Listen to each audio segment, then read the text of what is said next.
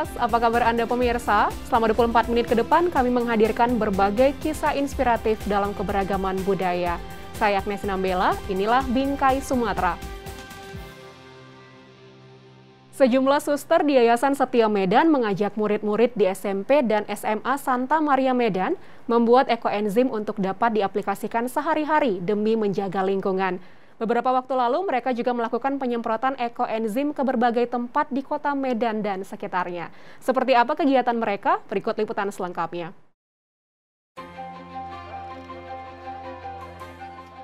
Kita melihat banyak sampah, sampah rumah tangga, sampah sayur, sampah kulit, kulit buah yang kurang diolah begitu ya. Ternyata kalau diolah menjadi sejuta manfaat.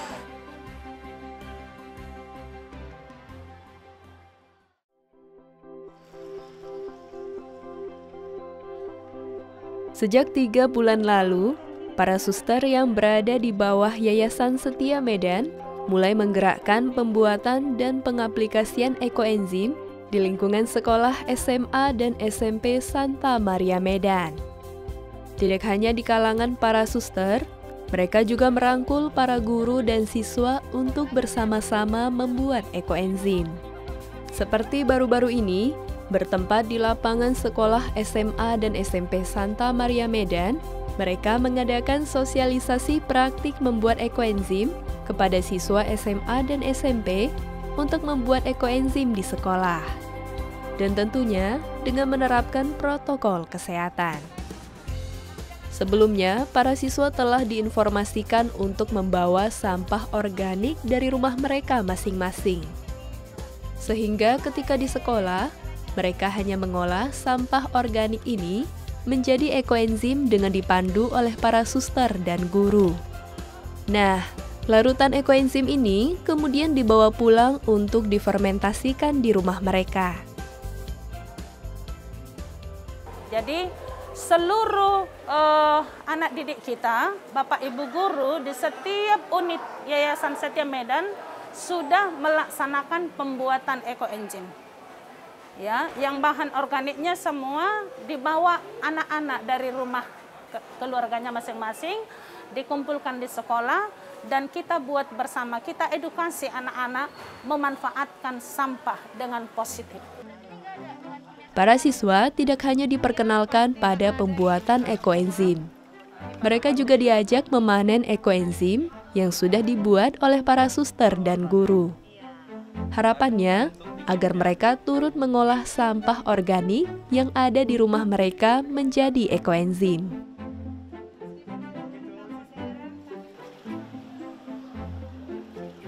Selama pandemi, para suster Yayasan Setia Medan juga mengaplikasikan ekoenzim yang mereka buat untuk berbagai keperluan, seperti menyiram tanaman hingga membersihkan lantai di lingkungan sekolah.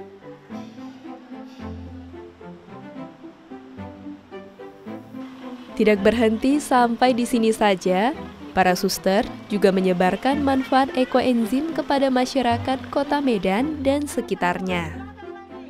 Bekerja sama dengan satuan BRIMOB, mereka menyemprotkan cairan ekoenzim menggunakan dua unit water cannon berkapasitas 5.000 liter. Selain untuk menjernihkan udara, penyemprotan ekoenzim ini juga dilaksanakan dalam rangka 100 tahun Kongregasi Suster-Suster Fransiskus Dina atau SFD di Indonesia. Sesuai dengan ekoenzim itu sendiri adalah uh, untuk membersihkan udara, untuk bisa pengganti disinfektan. Saya rasa cukup baik dan ini harus berkelanjutan juga nanti ke depannya. Dan siapa pun yang ingin bekerja sama baik dalam kegiatan-kegiatan khususnya uh, untuk kegiatan masyarakat, membantu masyarakat, kami siap untuk membantu dan kita berdoa untuk ke depan sebagai kita tetap untuk bekerja sama dengan masyarakat. Brimob sangat senang bekerja sama dengan Yayasan Setia Medan untuk semprot ekoenzim. Supaya Brimob juga dikenal masyarakat Indonesia, bahwa mereka juga melayani masyarakat. Terkadang masyarakat takut datang ke sana, Ternyata ketika kami datang dilayani sangat bagus oleh Brimob. dan mereka mengatakan kita akan jalin kerjasama untuk menyemprot ekoenzim secara khusus ke lingkungan-lingkungan yang ada isoman. Nah, mereka siap untuk itu. Yayasan Setia panggil kapan mereka siap. Membuat dan mengaplikasikan ekoenzim adalah langkah sederhana yang dapat dilakukan untuk melestarikan lingkungan. Selain mengurangi sampah organik yang berakhir di lingkungan, ekoenzim juga baik untuk bumi.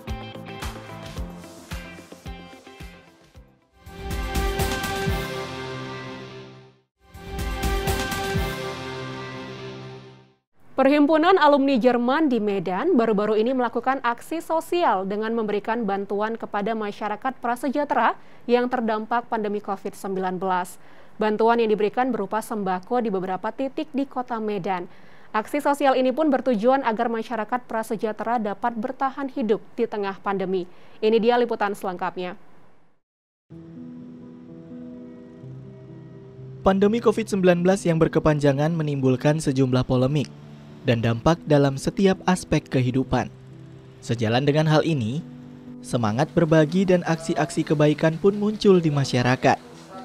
Masyarakat baik individu, kelompok, dan organisasi bahu-membahu membantu masyarakat ekonomi lemah yang terdampak pandemi. Salah satu semangat berbagi ini datang dari Perhimpunan Alumni Jerman di Indonesia – Orang-orang yang pernah bersekolah di Jerman ini pun menggalang hati mereka dengan memberikan bantuan berupa sembako kepada masyarakat prasejahtera. Iya, kita melihat memang suasana pandemi ini membuat orang banyak lebih susah. Apalagi yang dia kelas menengah bawah, mungkin penghasilan nggak ada.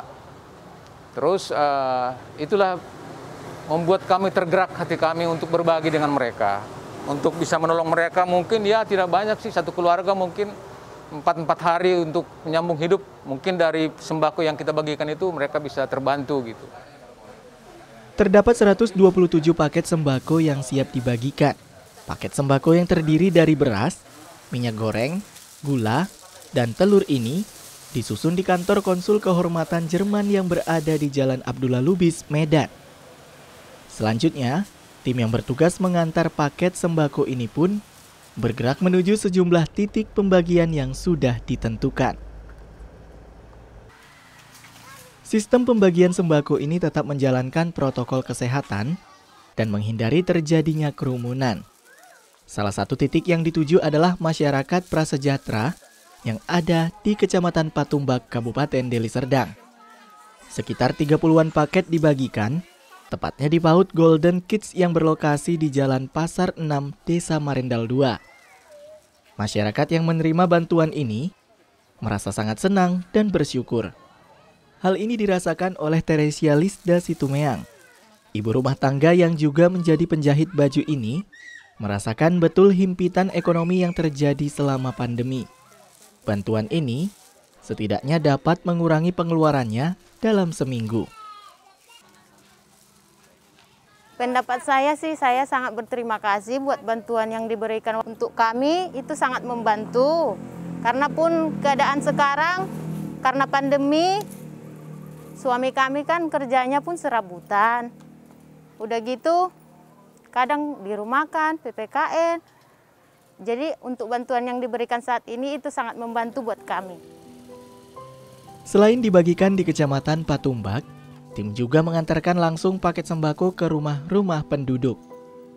Tidak hanya itu, tim pembagian sembako ini juga memberikan sembako kepada penerima yang mereka temui secara langsung di jalanan. Bantuan pun diserahkan kepada pengayuh becak, pemulung, penjual koran, hingga petugas parkir. Ya artinya mereka bisa tertolonglah sedikit ya, tertolong sedikit dan mungkin juga memberikan motivasi karena kami alumni Jerman itu ada ratusan. Tapi yang ikut berpartisipasi di sini mungkin baru sekitar 20 orang. Uh, kita juga ingin memotivasi mereka untuk terus serta uh, dalam kegiatan ini. Pandemi memang masih melanda negeri. Namun semangat berbagi yang timbul ini menjadi pemersatu dan wujud kepedulian yang nyata dari orang-orang yang tulus membantu.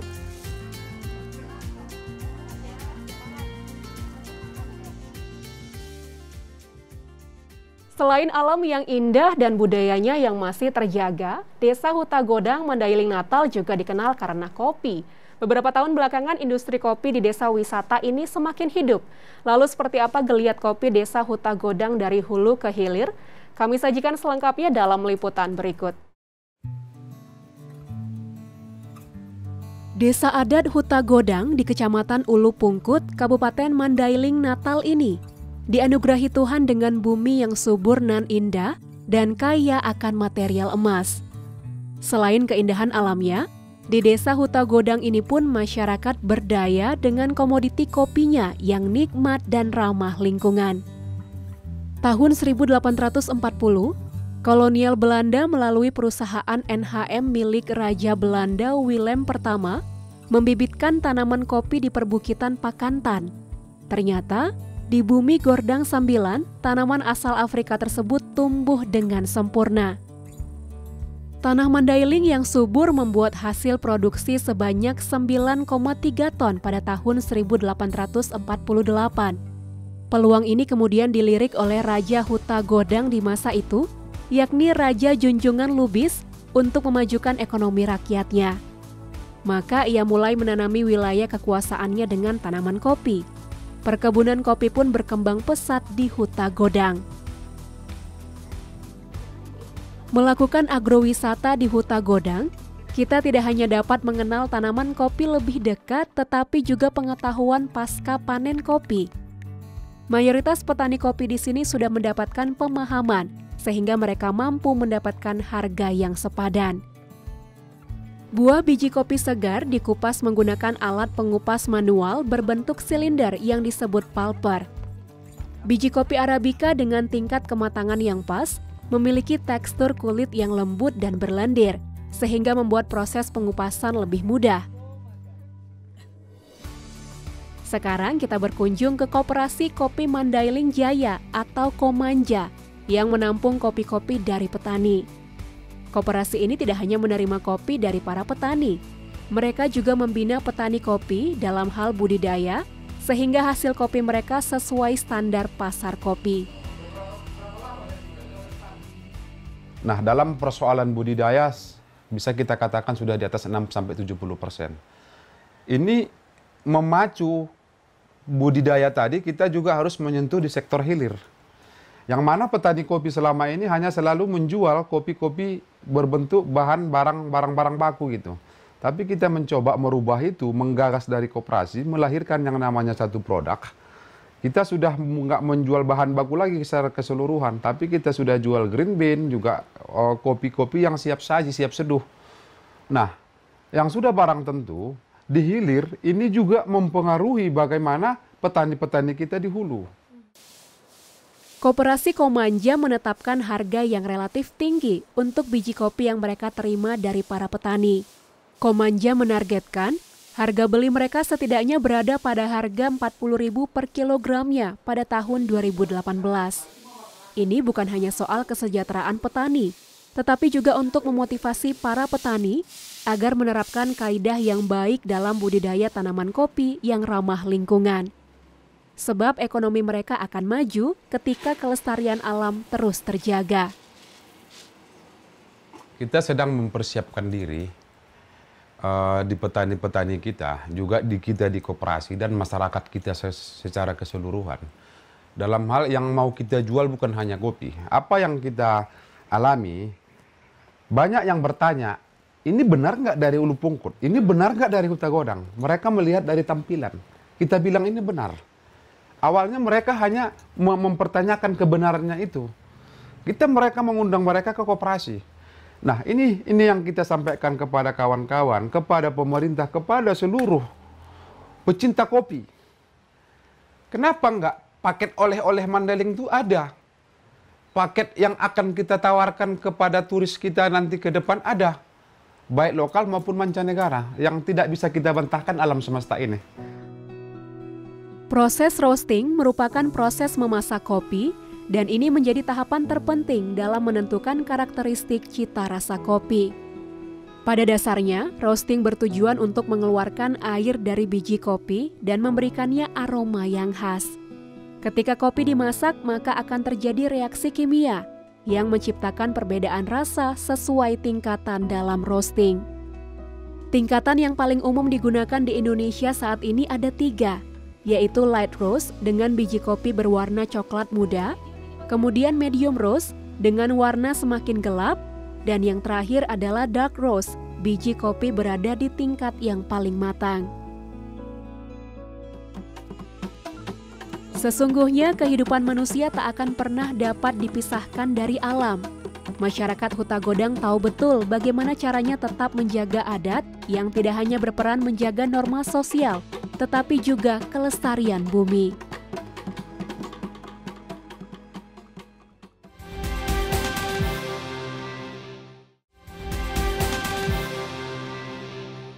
Meningkatkan kebiasaan membaca masyarakat bukanlah hal yang mudah. Inilah yang terus digalakkan oleh Tengku Muhammad Faisal, seorang pegiat literasi asal Secanggang Langkat. Ia mendirikan sebuah rumah baca di desanya pada tahun 2016. Kini Faisal terus bergerak dengan berkeliling membagikan Al-Quran secara gratis ke pelosok desa di Kabupaten Langkat. Kita lihat dalam segmen sekitar kita berikut ini.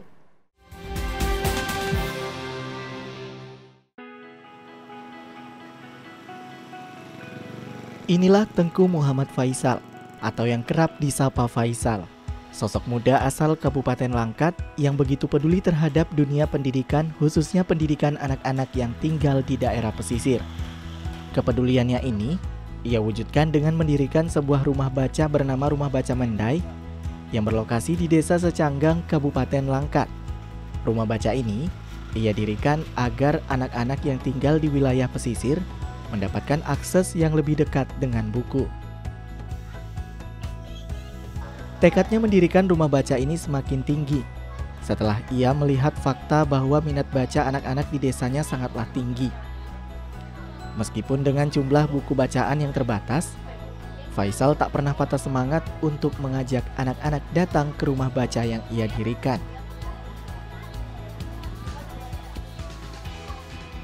Kami uh, peduli dengan literasi karena uh, dilihat dari aktivitas anak-anak ini sebelum ada rumah baca mendai, kita melihat anak ini tidak terarah. Uh, ada yang bermain sungai, terutama anak-anak ini sukanya bermain gadget. Uh, jadi kita mencoba untuk uh, berpikir bagaimana caranya anak-anak ini bisa dikumpulkan uh, di suatu tempat, tapi kita bisa memberikan mereka pembelajaran. Tujuannya rumah baca Menda ini didirikan uh, ya untuk itu tadi uh, kita pinginnya anak-anak ini mengenal buku kembali. Uh, mereka, uh, biar mereka bisa membaca buku karena terus terang buku ini uh, suatu barang langka Eh, karena kita kalau untuk membeli buku dengan harganya yang mahal, kita tidak sanggup. Jadi saya uh, melihat anak-anak ini sebenarnya untuk membaca, mereka punya hobi membaca, tapi medianya tidak terpenuhi. Jadi dengan rumah baca Menda ini, saya berharap mereka makin semangat untuk membaca buku. Rumah Baca Mendai berdiri sejak tahun 2016. Rumah baca ini dibuka setiap hari, sehingga anak-anak di desa Secanggang bisa membaca kapan saja. Anak-anak desa lebih senang memanfaatkan waktu senggangnya di sini, apalagi di akhir pekan. Anak-anak dapat belajar dan bermain bersama para relawan yang membantu Faisal menjalankan rumah baca ini. Kehadiran rumah baca Mendai dan kepedulian Faisal ini mendapat dukungan penuh dari Kepala Desa Secanggang Nasrul Azmat. Menurutnya, rumah baca ini sangat bermanfaat bagi anak-anak di desanya, apalagi di masa pandemi seperti saat ini. Terbatasnya waktu anak-anak untuk belajar di sekolah menjadikan rumah baca Mendai sebagai alternatif untuk anak-anak terus belajar dan mengenyam pendidikan.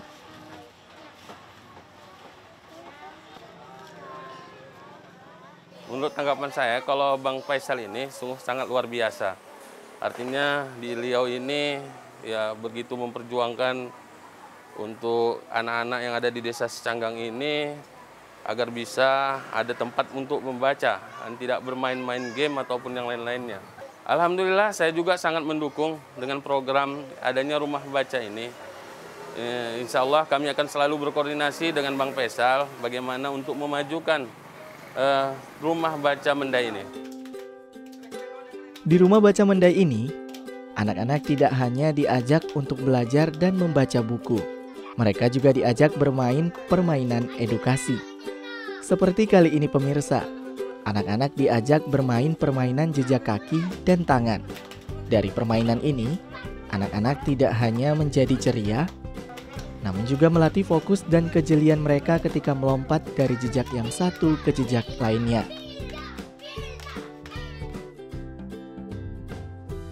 Aksi Faisal dalam menggerakkan literasi tidak saja dengan mendirikan rumah baca. Ia juga melakukan aksi jemput bola dengan berkeliling ke daerah-daerah pelosok di wilayah Kabupaten Langkat. Ia menggunakan sepeda motornya untuk membawa buku-buku bacaan. Setelah sampai di lokasi yang ditentukan, ia kemudian membuka lapak baca. Hal ini dilakukan agar anak-anak di wilayah terdalam mendapat akses bacaan dan dapat menikmati aneka buku.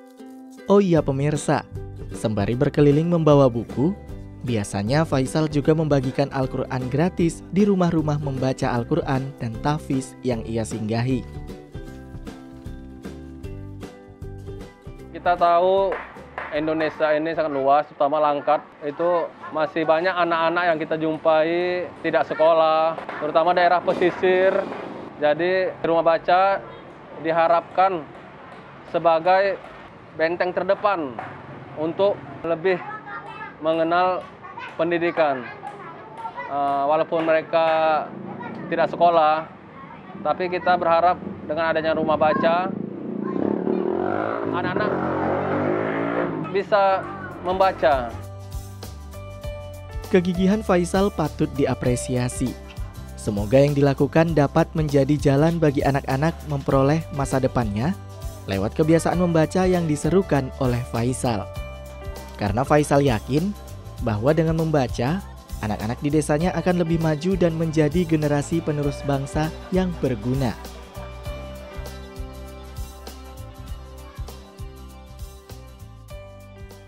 Sekian program Bingkai Sumatera, jaga diri Anda dengan menerapkan protokol kesehatan 5M di mana pun Anda berada. Memakai masker, mencuci tangan pakai sabun dan air mengalir, menjaga jarak, menjauhi kerumunan, serta membatasi mobilitas. Tetap semangat menyebarkan kebaikan, saya Agnes Nambela pamit, sampai jumpa.